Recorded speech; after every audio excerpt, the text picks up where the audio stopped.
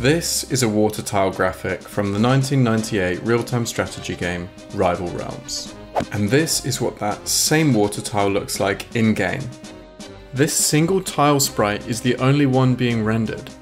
So how is it animated? I can explain.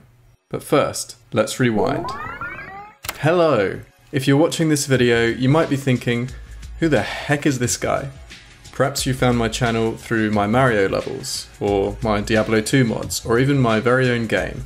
Whatever the case, I'd like to welcome you to my latest endeavour, Dan Does Dev.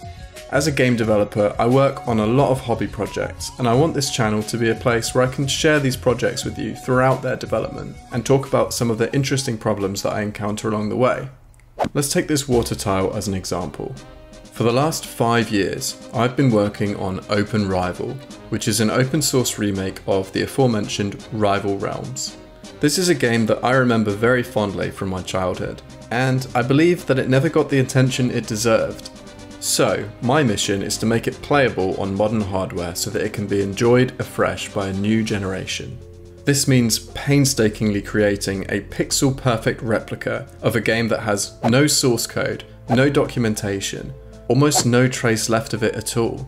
A game that uses such arcane rendering techniques that they might as well be wizardry. So how is this water animated? Here's the water graphic again, but you see, this image doesn't really contain colours at all. Each pixel actually contains a number corresponding to a slot in the game's colour palette. When you play the game, these colours rotate within the palette, which gives the effect of an animated image.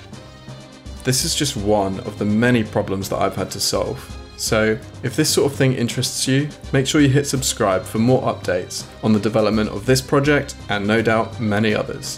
Thanks for watching, and I'll see you in the next one.